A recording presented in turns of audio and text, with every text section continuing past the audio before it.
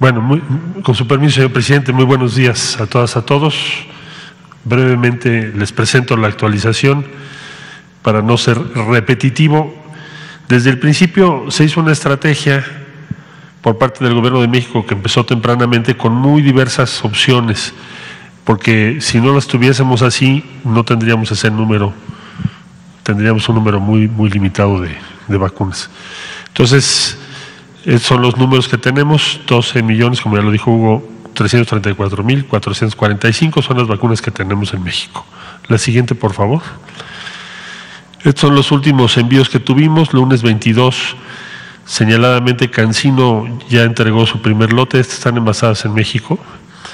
Eh, Pfizer llegó el 23 y 24, el jueves llegó un millón de Sinovac de Hong Kong, de China, el sábado llegaron 65 mil envasadas desde China y el domingo recibimos 1.510.600 AstraZeneca provenientes de Estados Unidos.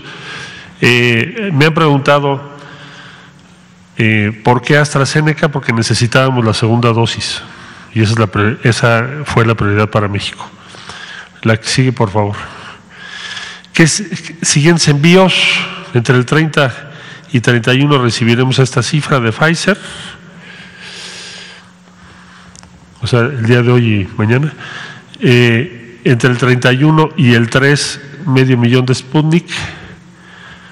Le puse por confirmar por los horarios, pero sabemos que van a llegar en estos días. Y el día jueves primero de AstraZeneca, un millón doscientos nueve mil novecientos, que provienen de los Estados Unidos. La siguiente, por favor.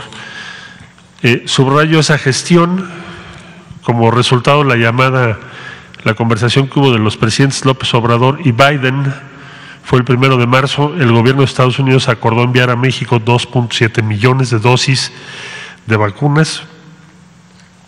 El 28 de marzo llegaron 1.5 y el, eh, es el cargamento más grande que hemos recibido y el primero que Estados Unidos envía fuera de ese país.